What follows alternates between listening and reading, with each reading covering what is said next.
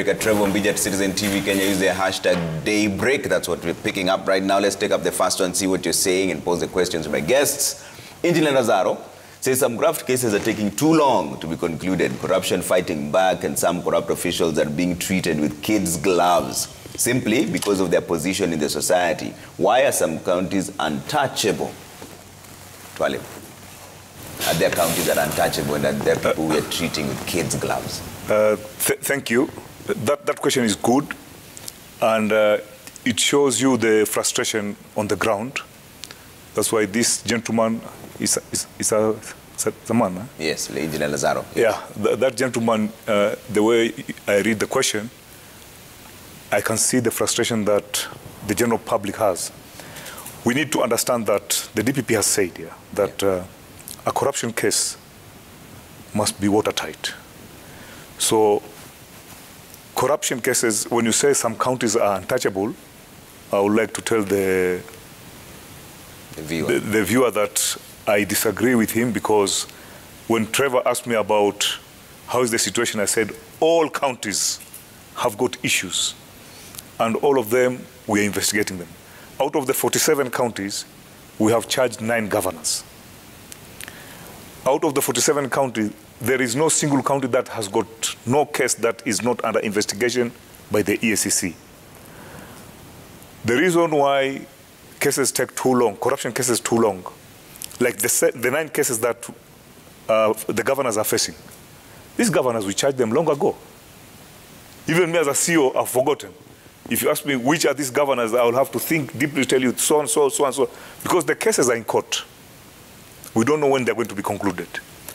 And each, in the fight against corruption or the, the, the, the, investigation on a corruption case, there are segments for every institution.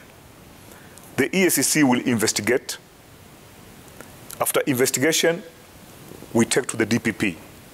We are not guaranteed that the DPP will charge. He may bring back the case, say, look, there are some gaps or what you call cover points. Can you go and, and check A, B, C, D? Sometimes some of these cases, they involve a foreign jurisdiction. You need an MLA, mutual legal assistance, because without that, any evidence from abroad in court does not count. When you take back the case, the DPP himself, just like EACC and the judiciary, they are equally overstretched. The capacity in terms of your workforce has been a very big challenge to EACC, to, the, uh, to the DPP, and to the judiciary. When these cases are taken to the judiciary by the DPP, it's a long process. They are also overstretched, and there are quite a number of frustrations that can come out in the process. When you ask me about the challenges of uh, the EACC is facing, one of the biggest challenges we face, Yeah. and even the DPP is facing, is witnesses being compromised. You have a very key witness in a case that is involving millions of shillings, and the accused silently, there will be no evidence. The accused silently will oil that person. This is a poor Kenyan, and he can be given something small, and he's just told, usije kotini.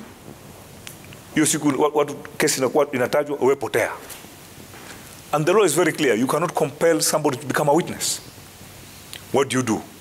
We've had cases, we, we, uh, the DPP will tell you he has withdrawn corruption cases as a result of witnesses disappearing.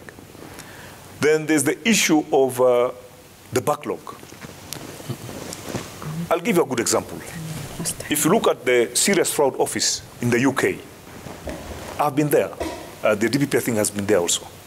If you look at the serious fraud office in, uh, in, in UK, per, per year they are dealing with about 15 cases, major cases. When it comes to the laws in Kenya, the law in Kenya on corruption is that any corrupt activity, when reported to the EACC, must be investigated. Must. In a year where we have 365 days, minus the Saturday and Sunday, minus, you know, in a day, we only work for one third of the day. That is eight out of 24 hours. So in a, in a year, you have that, that period. you find that uh, 5,300 cases you get in a, in a year as EACC. You have roughly about 170 investigators. And we have a policy. Every case must not have less than two investigators.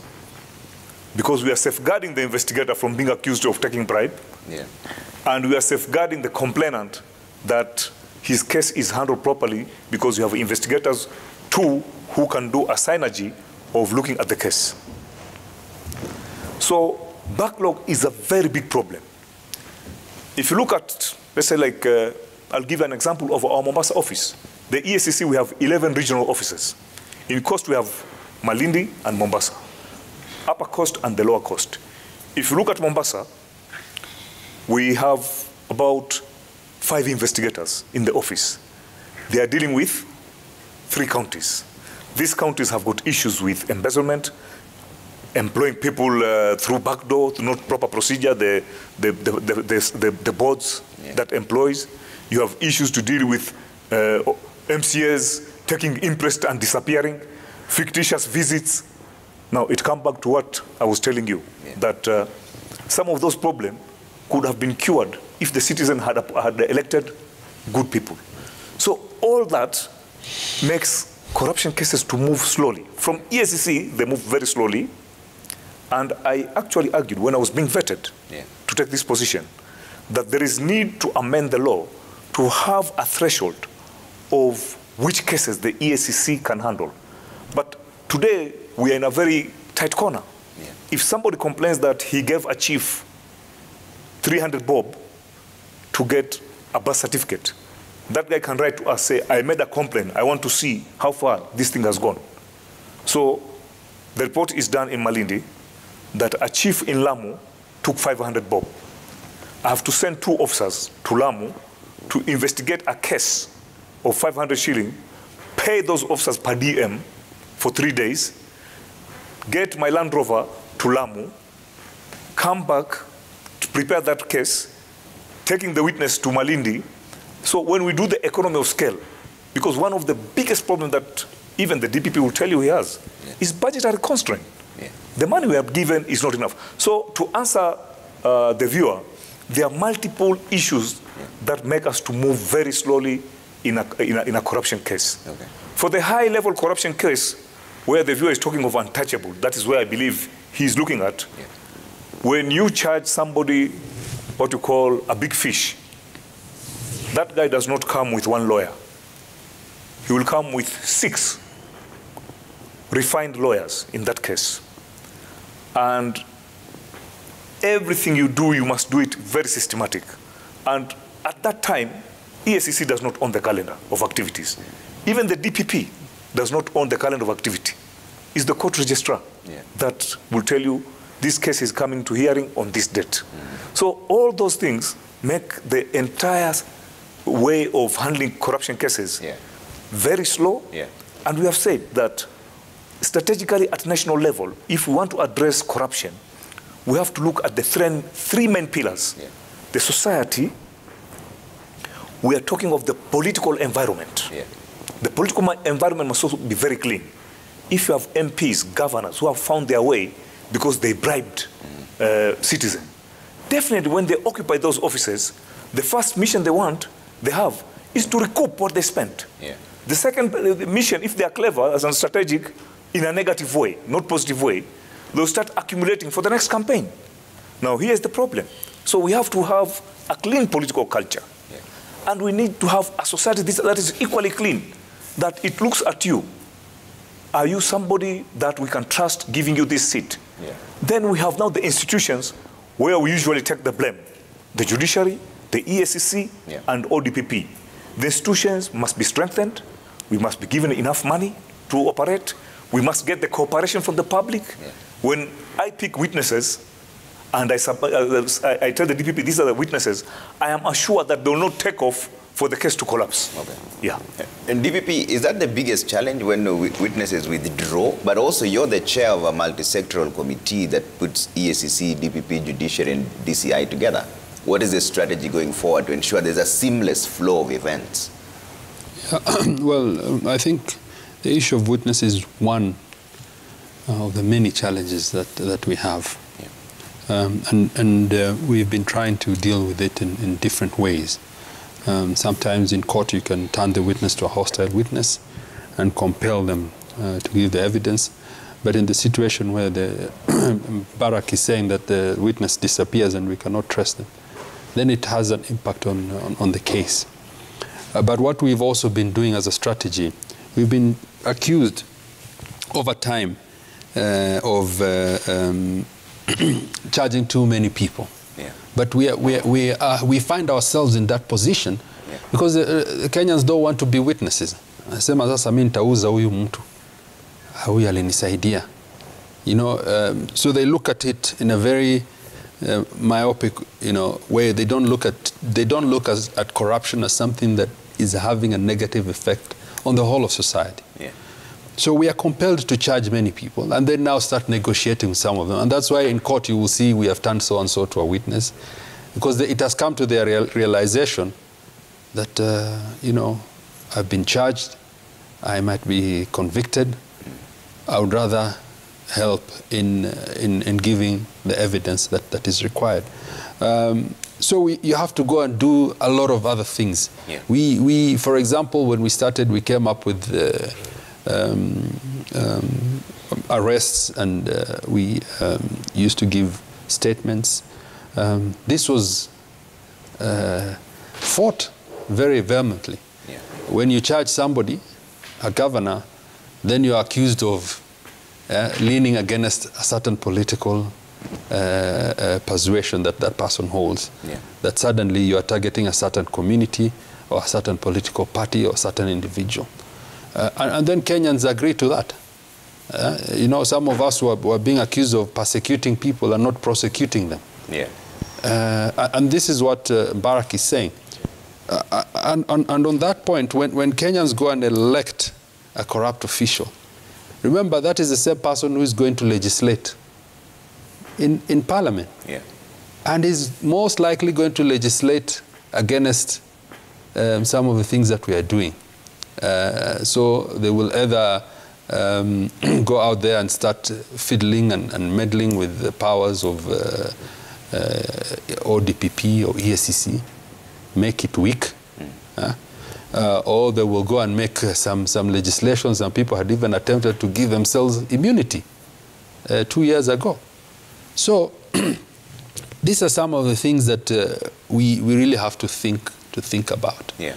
On the issue of uh, um, graft ca- cases taking long, Yeah. um, of course, I've, uh, we've explained that, that uh, um, um, we are trying our best. Yeah.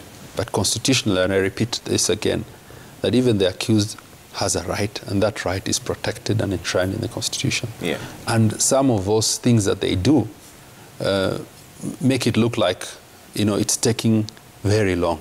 We have tried. Most of the cases that we brought in 2018, we have tried to ensure that we, we, we conclude them within two to three years. Yeah. And we have some, uh, you know, cases that we've succeeded, like the Waluke case, we managed to do it uh, within two years. And these are test cases that we, we brought along. There's the Wario case that we also managed to conclude within two years. And there are others that, that are there. And, and there are others that will come. Yeah. Um, so we are, we are improving. Uh, and, and, and, and, and we are hoping that Kenyans are, are able to see that improvement. Another thing that Kenya has done that the, rest of the region has not done is, for example, we have Witness Protection Agency Authority. And it's doing a great job. Uh, but we are asking Treasury, because we've seen the benefit of it, to support them more so that they're able now to cover more uh, um, with the witnesses who will need to be protected Yeah. To assure them that, you know, one, they can give evidence without any threats, but also to, to, to um, um, uh, insulate them from uh, some of the, of the actions that, uh, you know, uh, cartels are, are involved in. So we are trying our best. Right. And, and, and I think, um, for, for example, um, EACC uh, is, is, is in Zaire, in Congo, sorry, Yeah.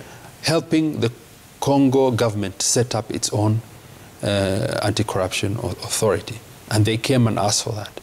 Uh, the other day, we had Tanzanian prosecutors coming to Kenya to look at the decision to charge and, and look at how we, uh, we work on in terms of um, mutual legal assistance and other things. Yeah. So regionally, Kenya is doing very well, and even globally, because there are certain things as Kenyans we have done that people in, in, in, in, in, in certain jurisdictions that are considered uh, uh, uh, um, advanced have not done. Okay. Charity, from the UN ODC perspective, what kind of support are you looking to offer to the institutions going forward?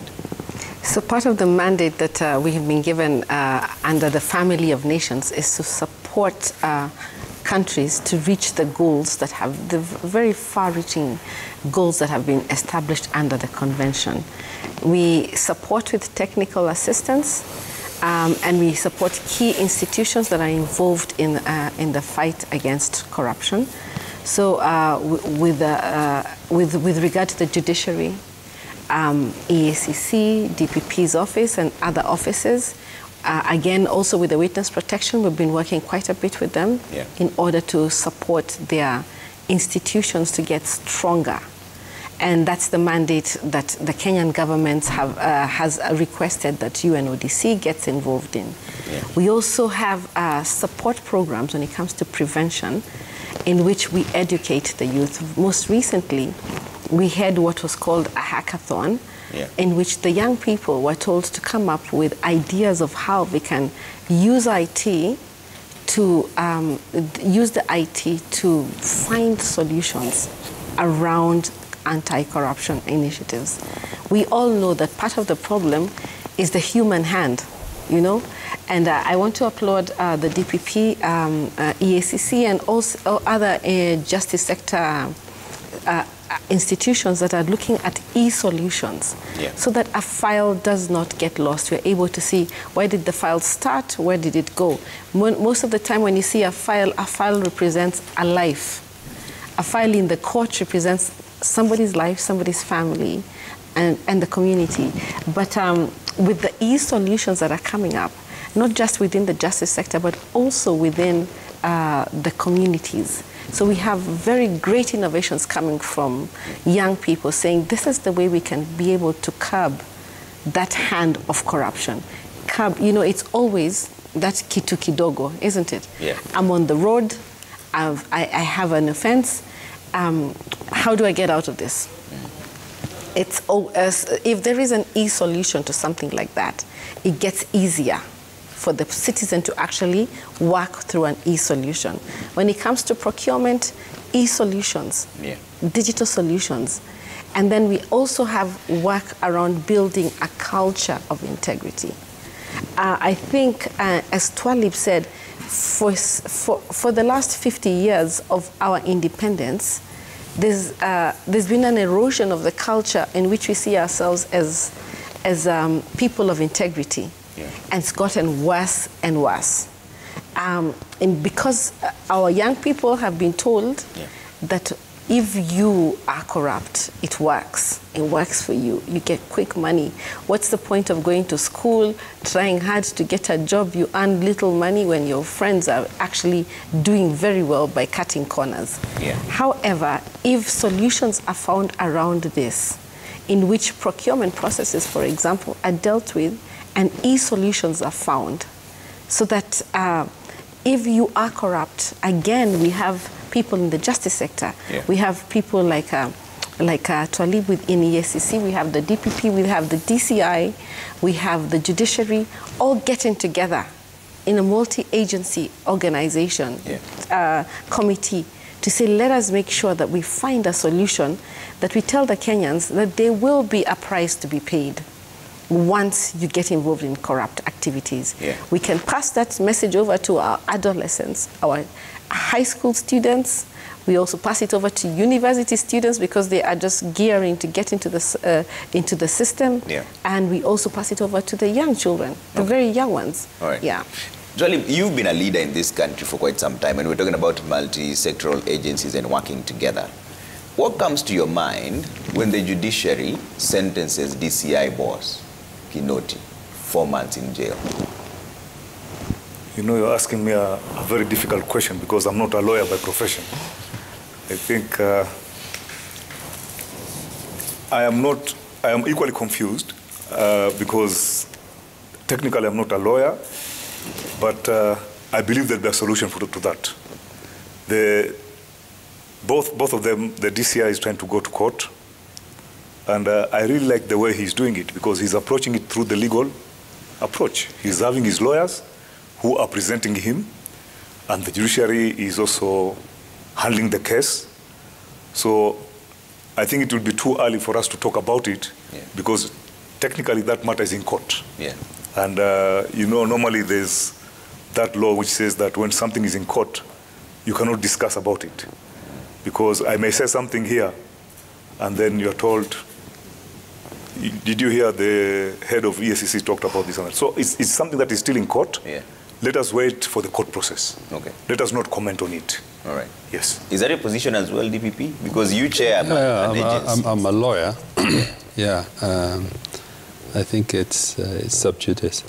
Uh, but, but then, you know, uh, first of all, I want to congratulate uh, the DCI because he was recently elected in, uh, in the Interpol, which uh, gives Kenya a lot of credibility. It's a very important uh, organization, and, and it should tell you the status that other countries globally yeah. uh, hold us on. Um, so um, uh, I, I think we have our own challenges, uh, but these are issues that uh, can, can, can be uh, um, ca- will be overcome Yeah. uh, eventually. Yeah. The judiciary is an independent institution. Uh, DCI is also an independent institution. Uh, and uh, I think the best thing is uh, to leave it in court Yeah. and get uh, the best, uh, the best, uh, the best out of it. Um, but you did ask me about the anti-corruption committee. Yes. And the anti- anti-corruption committee uh, uh, that is under the NCAJ, um, headed by uh, the Chief Justice, uh, um, the ODPP was given the mandate to chair that, that committee of the NCAJ. Uh, and in it, we have EACC, we have DCI, we have the judiciary itself, and we are sitting down to find solutions uh, in, in, in, uh, in, in being able to um, fight corruption and, and, and recognizing that as much as we are independent, we are interdependent, and, and, and that we have to work together for the benefit of Kenyans and ourselves as Kenyans. Um, so um, the purpose really of, of this is, is, is, is to ensure that delays uh, are, are not uh, um, uh, are, are not the norm Yeah. uh, and that um, uh, we are able to expedite them, Yeah. but also give corruption um, cases the attention that they deserve. Yeah. Yeah. All right. Let's see what else you're saying here on online. Bring it up. Let's see. Brick George says, ask him why isn't the DCI Kinoti a convict, not stepping aside, not going to committee? Is he above the law? That is a conversation they've said it's sub judice. They don't want to delve into that. Odongo Rolex says it is true they're leaning on a political divide when it comes to a matter of fighting corruption. We have seen politicians siding with Deputy President claiming they're being targeted. We can talk about this issue of being targeted actually, Twalib. Is there a certain time and a certain period where some politicians, and we've had this, claiming that they're being targeted because the elections are here? Or is it just the wheels of justice that keep flowing and sometimes it happens to come on an election period? You know, in fact, I'm very happy that I've seen that question. Yeah.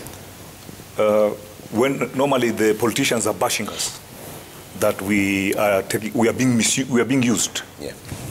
You know, as I sit in my house, I really get agitated, and I'm very happy that I'm in this forum. I want to answer those politicians who keep on making noise that uh, they're being targeted. When they're stealing, they don't tell anybody that they're stealing. When they're caught, they say there's a problem, that we are targeting them. If you look at the governors that we have charged, of course, some of them keep on jumping from one party to another, but basically, you have governors from all political divide. But politicians are very smart. They have, not, they have not done psychology, but they are very good in psychology. they know how to psych the public. A politician will know that he has been summoned by EACC because Rudin has said here, we must be fair to everybody. So when we are summoning you, Trevor, today is second. We'll tell you, report to EACC on 15th. We'll give you about two weeks. We, you are accused on this and that and that. We give you a letter. Then you work out. You have known, you have been summoned, and you know what you are being suspected of.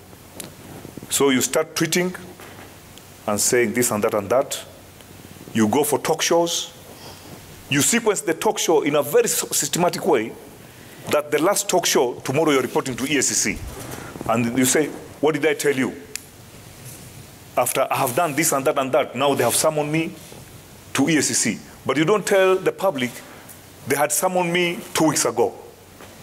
And from the public uh, part of it, it makes sense that this politician is being targeted by EACC. But there is something that politician is hiding. First of all, maybe we summon him first, or her. He or she has refused to honor the summon. We send what you call compelling order, that now if you don't report, we are coming to handcuff you. Yeah.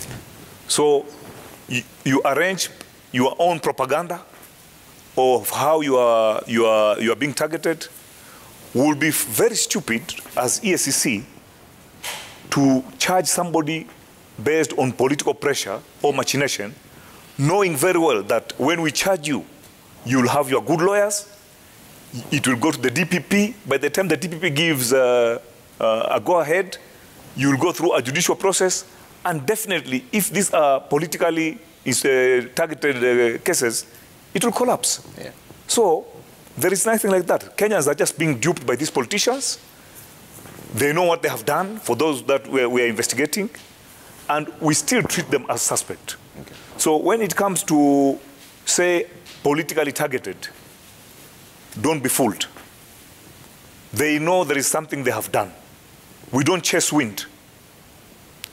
Before we follow a case in EACC, we have sequences. Okay. The allegation or complaint will come to the report center, or will get through our intelligence, or people on the ground walking, and they'll say, this particular MP, this particular governor, he, has, he or she has done A, B, C, D. We, don't, we, we just don't jump into a case. Yeah. We do what you call preliminary investigation. Is this a case worth to be followed or not? Because you may follow a case only to realize these are politicians trying to settle scores. Yeah. And you end up nowhere. You have wasted time, you have paid your investigators, you have used the, the government money, and there is nothing to, to, to charge or there is no offense. Yeah. So by the time we write that letter in this type of a paper, creamish, Yeah. by the way, Trevor, there are a lot of conmen with uh, letterheads of EACC. A lot.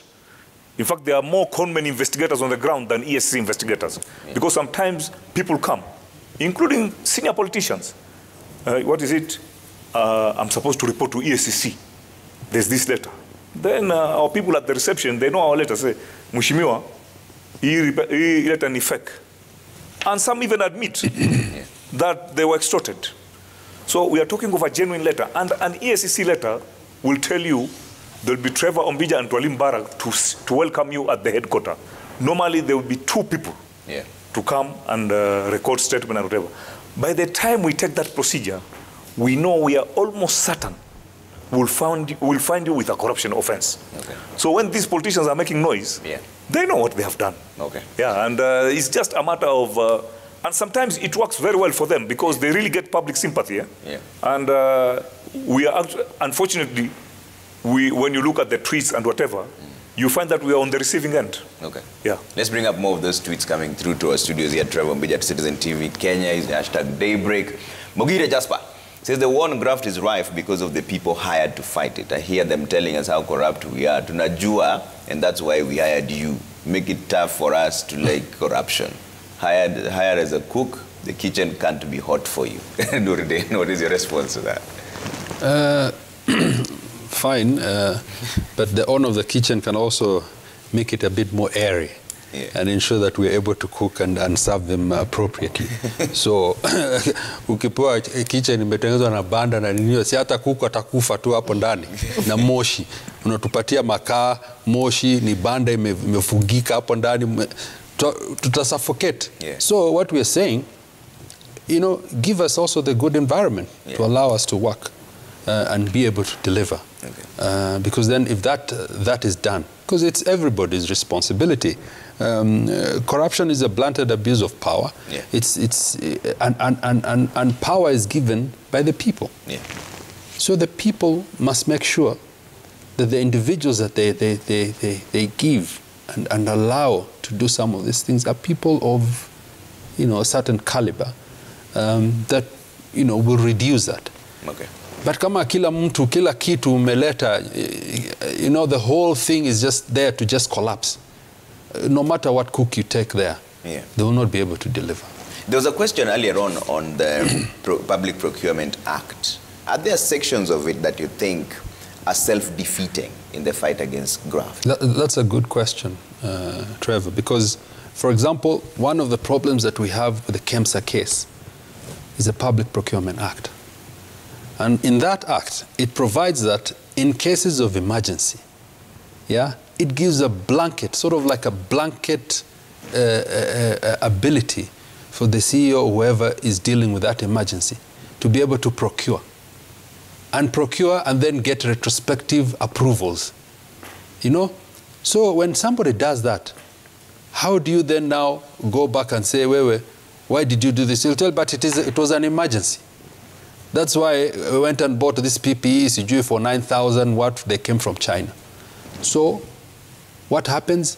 The EACC and, and ODPP will have to go a step further, go all the way to China and see, are this, were this, at this time, were these things actually costing 9,000 shillings? Or were they costing 100 shillings or, or 1,000? For us to be able now to tell that person, okay, it was an emergency, fine, you were able to procure this, but these amounts were ridiculous because we have evidence from this company in China, we have evidence from this individual in China. Uh, then we'll be able to, you know, prosecute effectively. Yeah. Uh, so uh, um, that act itself has to be reviewed. Yeah. We must be uh, very certain on some of the clauses. Uh, for example, in the PPRA, the authority itself, it only gives opinions. You know, uh, and some of the opin- opinions are non-binding. Yeah. Maybe the authority should be given a little bit of, you know, powers to suspend, to do this, to do that. You know, uh, to be a little bit more with a little bit more of teeth. Yeah. So, so that procurement is, is aligned. Then again, when you go to counties, the other problem that we've seen is that the procurement process is not aligned with the IFMIS process. So we asked in the earlier stages in 2018 and 2019, we asked Treasury to ensure that they are aligned, that you cannot do uh, procurement without aligning it to the payment processes, Yeah. and that they are seamlessly connected uh, so that we can seal the loopholes uh, that are happening in the counties and, and, and, and elsewhere. Um, so there is a bit of homework that has, be, has to be done, Yeah. and it is being done slowly. Okay. Charity, how significant is the World International Anti-Corruption Day and looking for ahead into it on the 9th of December? What do you wish is achieved? So this is a day that has been set aside by the world in general. You know, a day to acknowledge the problem, the, the, the, depth and the length of the problem that faces not just Kenya, but the world in, in particular. If you heard about the, the COVID-19 um, uh, corruption cases, it was world over. It was not limited to Kenya. Um, and so this is a day that has been set aside for government officials to take stock of where they have come, looking at the convention that looks at prevention measures. But then also it's a time for citizens to understand. It's really a time for them to understand I, uh, that my no counts. Um, my individual action counts.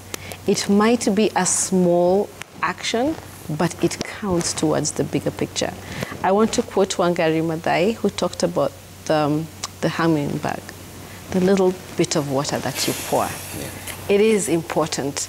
And, uh, and this is the day that we say um, the no of the public citizen, the rights holder counts, the no of the, of of the people that we have put in office Yeah. to support us counts, and that they do need us to support them. We don't put them in a position and then set them up to fail by not coming forward with evidence, by not, not supporting them, and then, uh, and then saying that this thing is not working.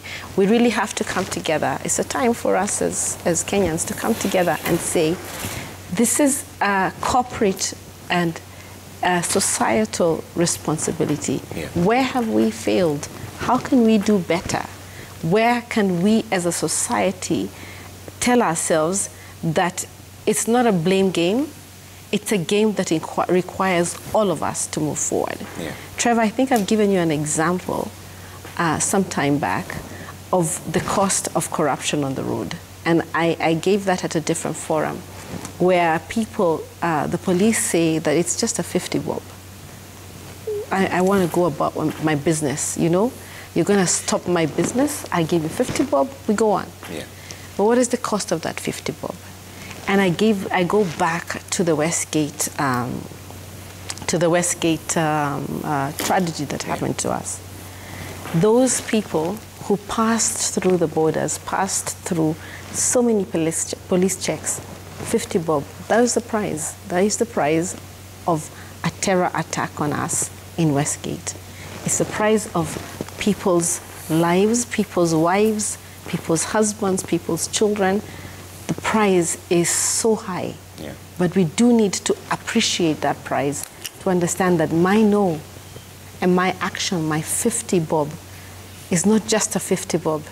It is an enabling, uh, uh, an enabling uh, uh, action towards the wheels Yeah. of corruption. All right. Yeah. Let's see more of your feedback coming through here and see. Let's bring them up as we finish up really quick.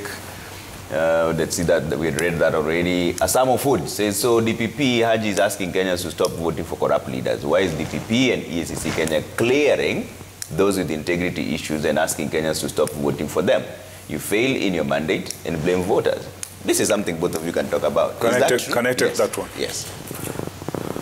First of all, I, I need to tell the public we don't clear. We give a feedback to IBC. And uh, we will say these are the issues of the following. Yeah.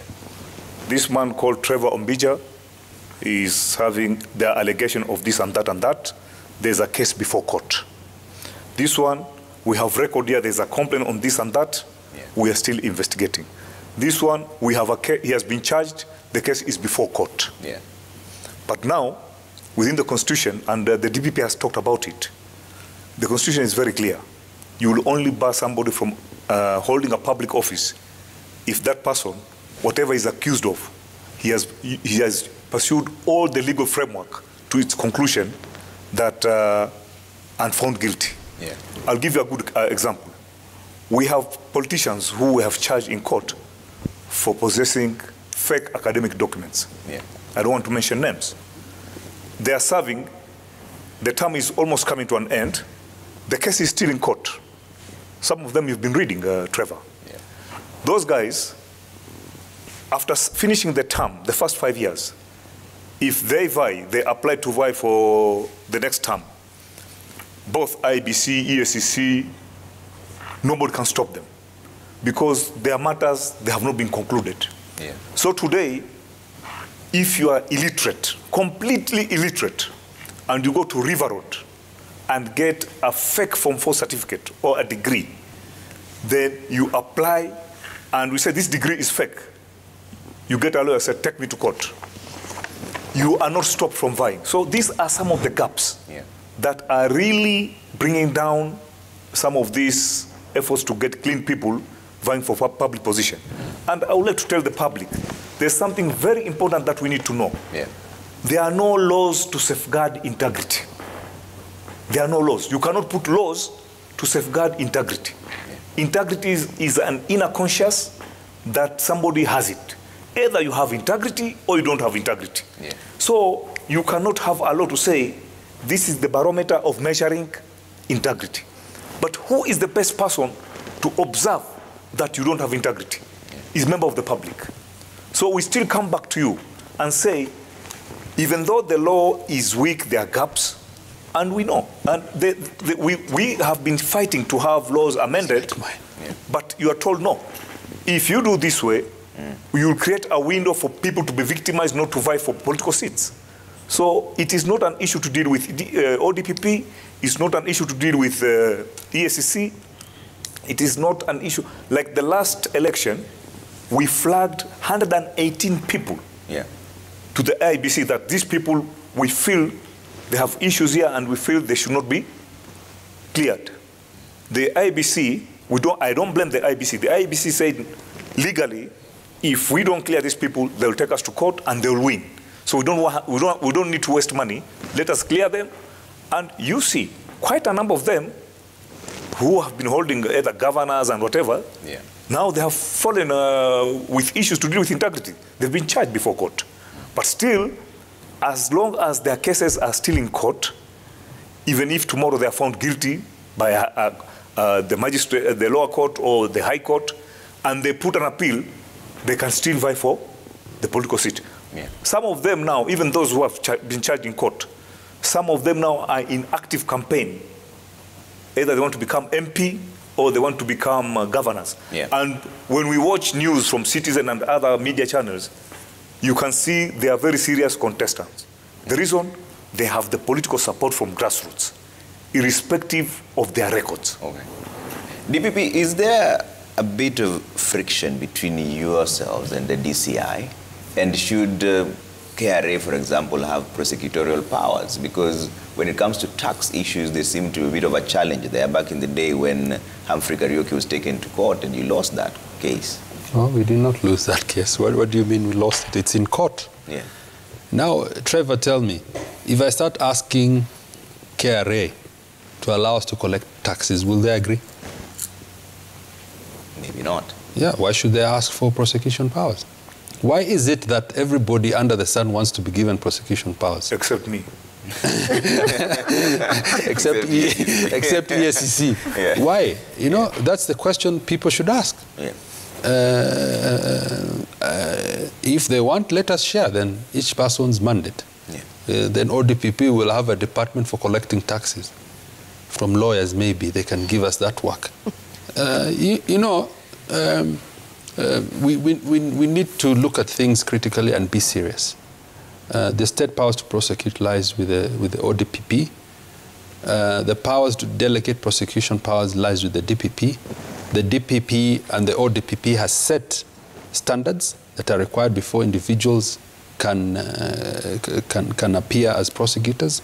That's why we have established the Prosecution Training Institute, and all prosecutors will, are now required to go through a one-year rigorous training before they can go to court and, and pre- present the Republic of Kenya, which is you and, and uh, Mwananchi. Yeah. Uh, because we cannot keep on as government uh, uh, going for individuals who do not have the skills and then we expect you expect us to deliver so the government has invested it's investing in the PTI so that you have the quality and the right caliber of prosecutors in court uh, to challenge those defense lawyers that uh, EACC CEO was saying who, who, who, are, who, are, who are very good. We want to be able to have prosecutors who can, and, and that standard will have to be met by each and every individual that uh, wants to seek those prosecution powers. Yeah.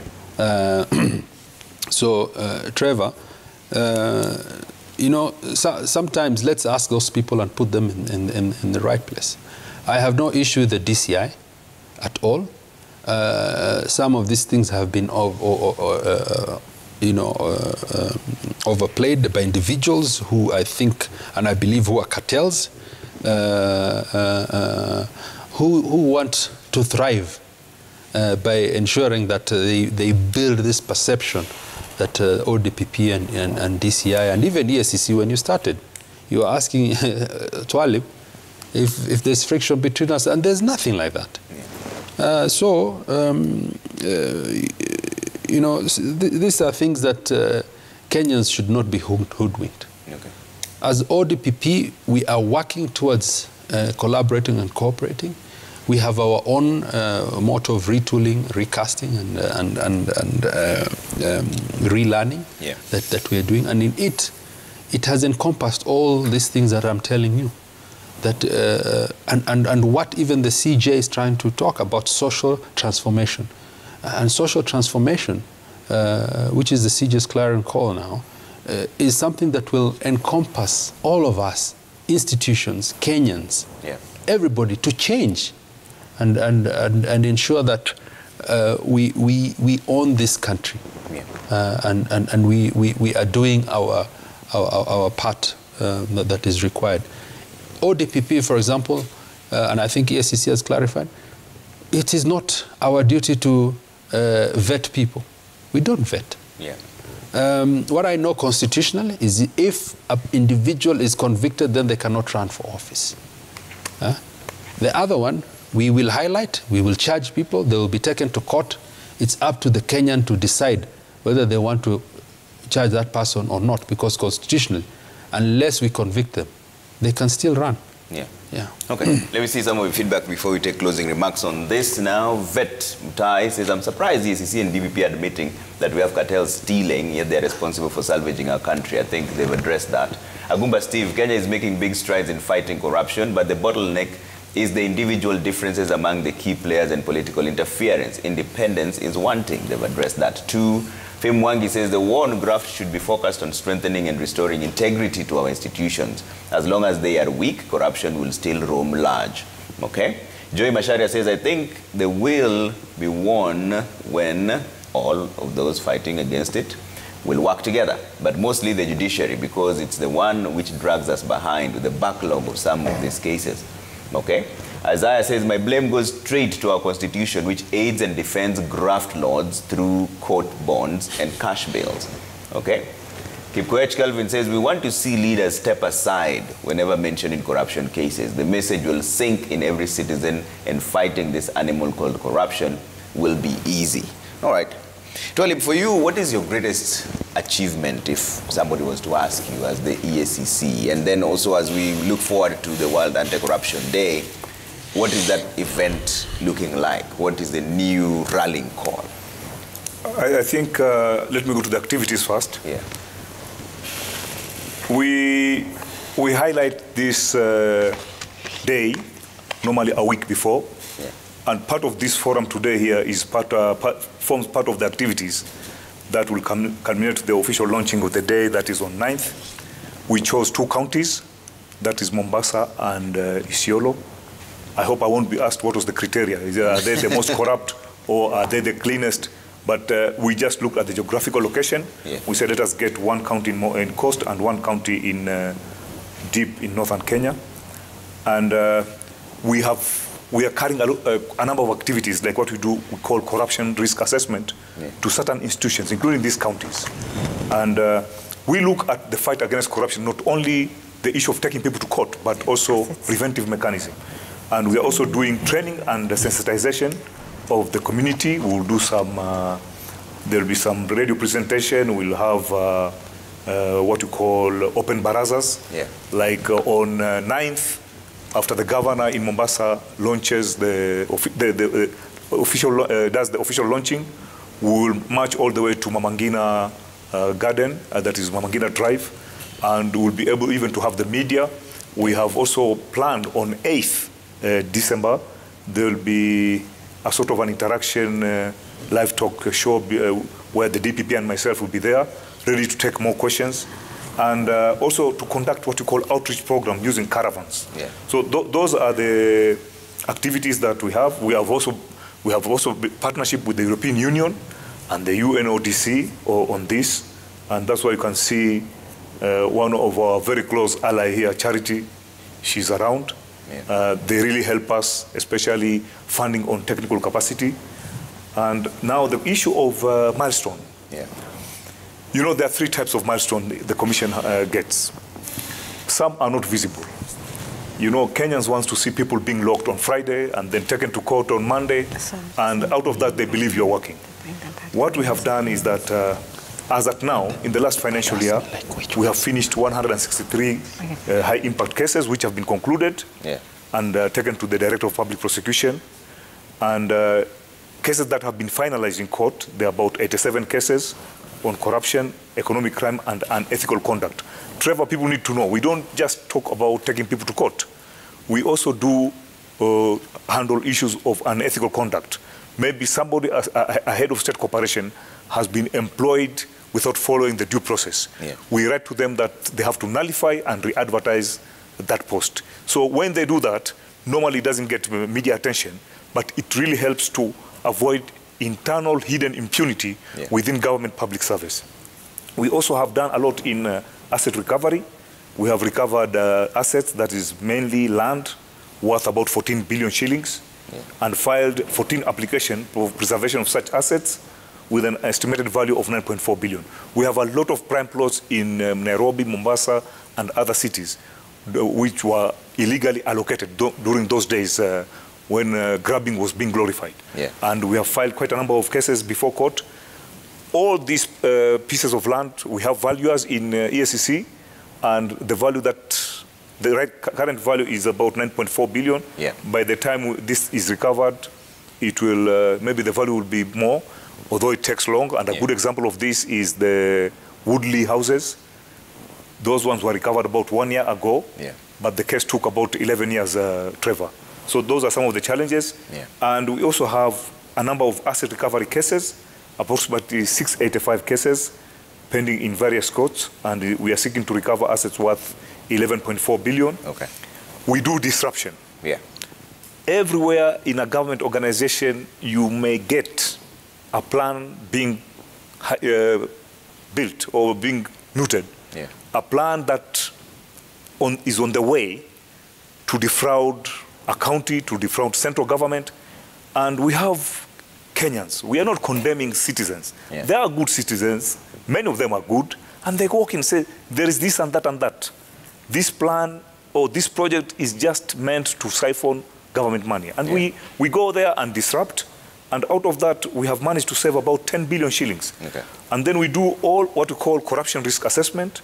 Right now, we are doing it in uh, nine places. We, we completed nine of them. Yeah. And uh, maybe I can highlight what is corruption risk assessment.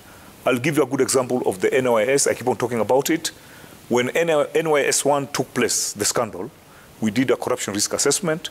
And part of the finding is that we said NYS should be an autonomous organization. Yeah. But because there were people who were benefiting out of that, they disregarded the, our recommendation. And that is part of the weaknesses of the law. Some of these recommendations that we put are not binding. We have no powers if people don't follow what we have recommended to take action against them. So we are trying to move and talk to Justice and Legal Affairs Committee in Parliament that some of the laws on uh, ethical conduct, the EACC should be given power to, to do what we call enforcement. Okay. And another milestone which I would like to talk about is we have really, the EACC, Yeah. through its act, it's it is allowed to partner with any partners who can assist in the fight of corruption. Today we are very proud. We are so much uh, in partnership with the UN uh, ODC, with the European Union, uh, with some um, international organization. Yeah. And also the DPP has said we are also partnering with infant anti-corruption bodies, trying to make them work. We are in partnership with the anti-corruption body of Congo. Yeah. We have done a lot of uh, exchange with the Anti-Corruption Commission of Tanzania. Uh, we are in partnership with the FBI. We are in partnership with the Serious Fraud Office. We are even planning to have some officers from EACC to be seconded to the Serious Fraud Office in UK as part of the learning process and empowering our organization Yeah. so that they are able to deal with corruption, especially when it crosses uh, Beyond the beyond the Kenyan jurisdiction. Okay. Yeah. All right. DPP, closing remarks for you. What would you like to see going forward into the World Anti-Corruption Day? Or any commitments you're making?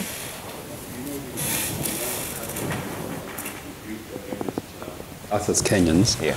uh, and, and in which nobody is, is above the law, um, no matter how, how powerful that individual is. Yeah.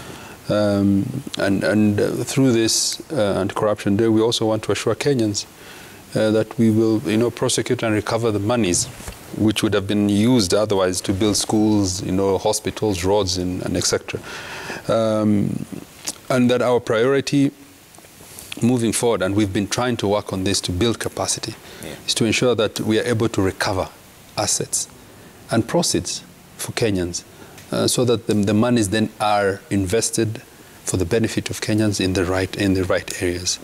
Uh, We will therefore endeavor to make um, corruption uh, unattractive.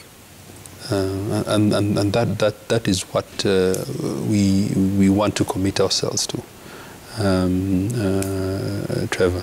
I think in terms of, um, you, you know, uh, the CEO has talked a lot about uh, the gains that they have made.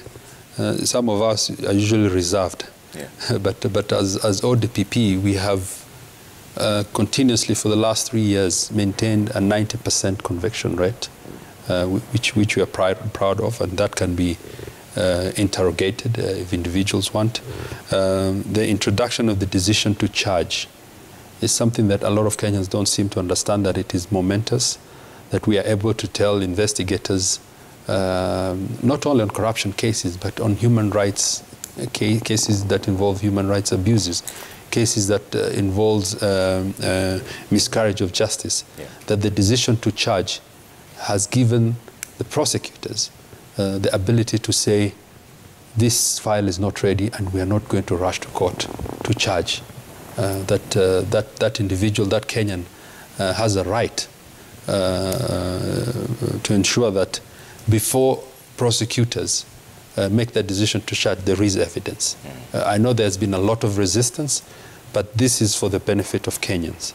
Um, I think we have also managed to revitalize We have now cre- been able to create a team uh, a team that is ODPP, that is working seamlessly and tirelessly, tirelessly to ensure that Kenyans enjoy Yeah. uh, uh, the services that they're supposed to enjoy, that it is a servant leadership.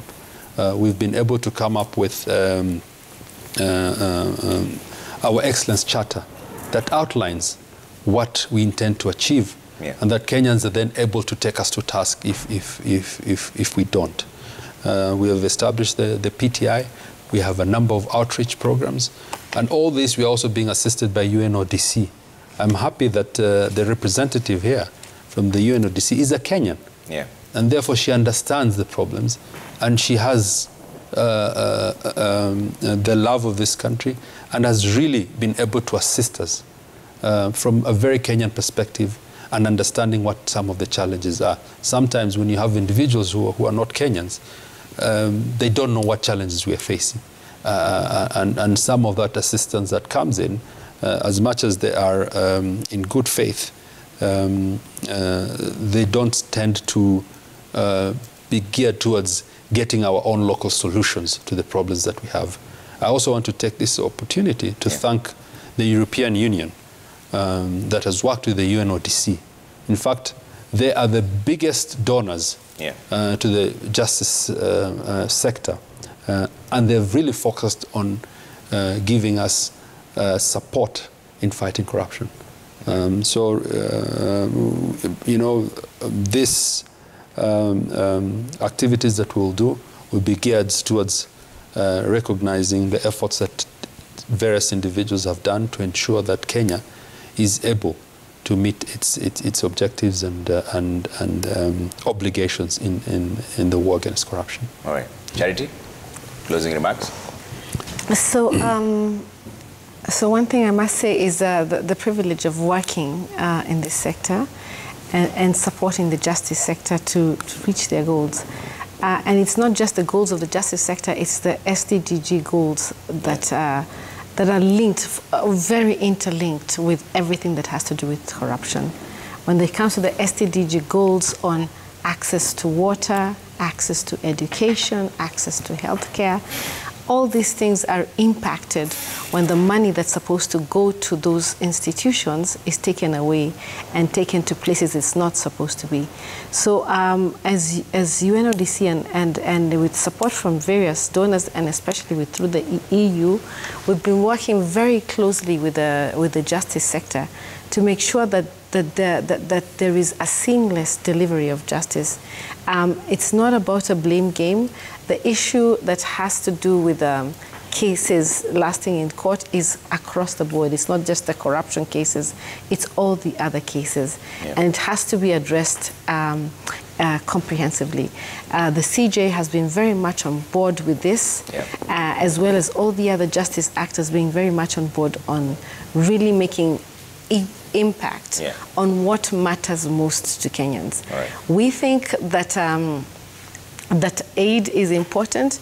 The amount of money that is leaving this country Yeah. in the form of money laundering and assets that leave this country is huge. It is time the Kenyans reclaimed their, uh, their, their, assets, they reclaimed their future. Yeah. They said it is up to us now to make this work. Okay. Yeah. Thank you so much for making time this morning. Twalib Mbarak, EACC CEO, Nurdin Haji, Director of Public Prosecutions, Charity Kagwe, Head of Criminal Justice and Anti-Corruption at the UNODC, and thank you for all the feedback. We're taking a quick break now. When we come back, it's time for what? Breakfast Tips with Willis Bazu Raburu. See you in a bit.